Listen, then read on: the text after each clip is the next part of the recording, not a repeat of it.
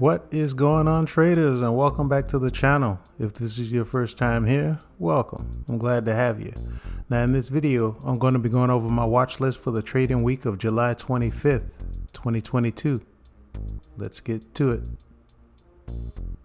Alright, so the catalyst for this week, we have more big tech earnings. We have the new home sales numbers coming out on Tuesday. And what everybody's waiting on is the FOMC minutes. That'll be on Wednesday at 2 p.m. Let's go ahead and take a look at this week's earnings calendar.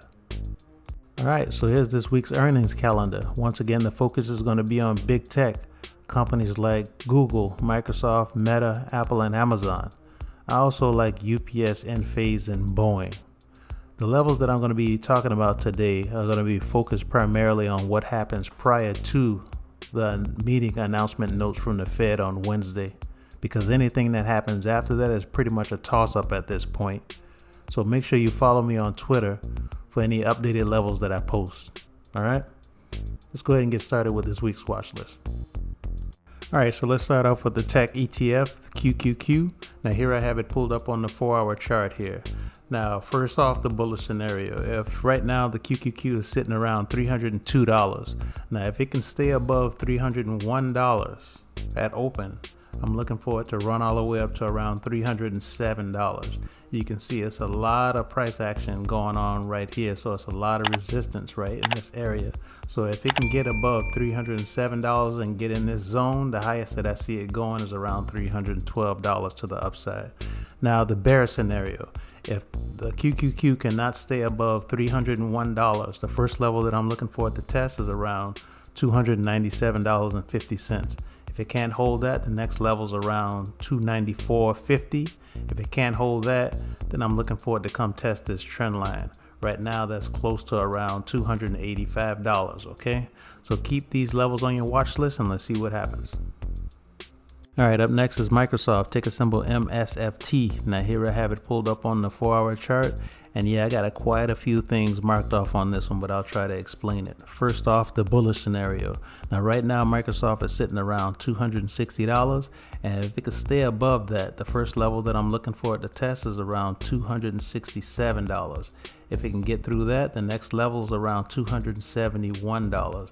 And you can see in the past, it's tested this level quite a few times and the last two times it has not been able to break above $271 but if it does the next level that I'm looking for at the test is around $280 and if it can get in this imbalance candle area right here the highest that I see it going is around $287 okay now that's the bullish scenario now if Microsoft has bad guidance or bad numbers or if the market in general wants to sell off the first level that I'm looking for at the test is around $260. If it cannot get above $260, I'm looking for it to test around $253.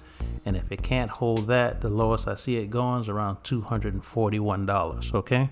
So keep these levels on your watch list and let's see what happens.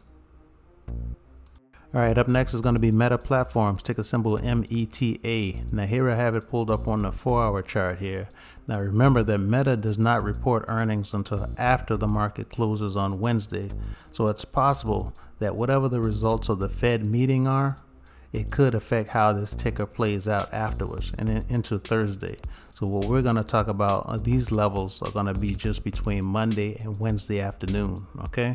So first off, the bullish scenario. Now, right now, Meta is sitting around $169.25. The first level that it has to get above is around $169.50. If it can get through this level, the next level that I'm looking for at the test is around $173.25. If it can get through that, another hard resistance I see right here is around $175. If it can break through that, the next level is around $179. If it can get through that, the next level is around $182.50, and the level above that is $191.50.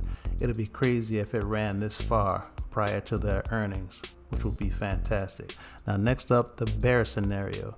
Now, if the market opens and Meta cannot get above $169.50, the first level that I'm looking for at the test is around $163.50, okay? And if it can't hold this one, the next level down is around $159.50. And if it can't hold that, the last level that I marked off here is around $158.50. Okay.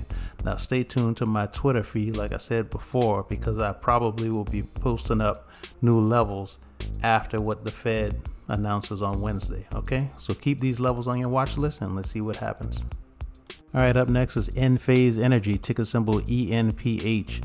Now here I have it pulled up on the four hour chart here, and they report earnings after the market closes on Tuesday.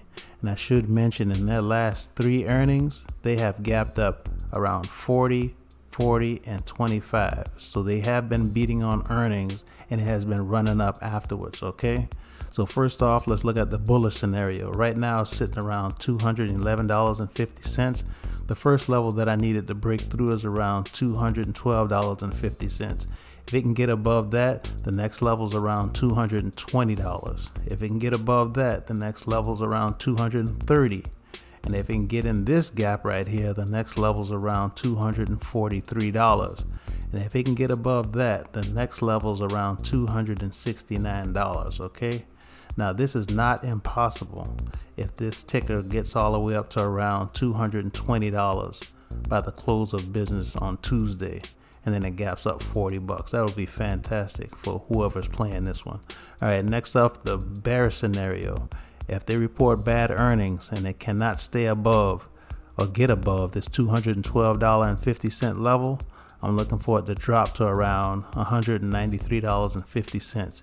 If it can't hold that, the next level that I see is around $175, okay? So keep these levels on your watch list and let's see what happens. All right, up next is going to be Boeing, ticker symbol BA. Now here I have it pulled up on the four hour chart. Now Boeing reports earnings before the market opens on Wednesday. and their last few earnings, they have missed and it has sold off as a result but we're still going to take a look at both scenarios. Okay, first off, the bullish right now is sitting around $158, and the first level that we needed to break through is around $158.75. If it can get above that, the next level that I'm looking for at the test is around $161. If it can get above that, I'm looking for it to run all the way up to around $168. Okay. Now, the bearish scenario if they report bad earnings like they have in the past few times and it cannot stay above $158, the first level that I'm looking for at the test is around $155. I probably should mark that on here. Around $155. And if it can't hold that, the next level that I'm looking for the test is around $150.75. Now, if it can get through that and it can't hold, I'm looking for it to drop to around $144. Okay, so keep these levels on your watch list and let's see what happens. All right, and the last one we're going to be looking at is Apple, ticker symbol AAPL. Now here I have it pulled up on the daily chart just to show you this trend line that started back in September of 2020 you can see it came down and tested it a few times and recently it broke through that trend line and tested it around two times and have gotten rejected each time. Now we're getting really close to this trend line. Again if i zoom in around $157 so i'm curious to see if we can break through this so let's go over to the four hour chart and look at the levels for this upcoming week all right, first off, we're going to start with the bullish scenario.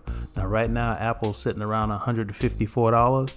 It needs to get above and stay above that. And if it can, the first level that I'm looking for to test is this trend line around $157.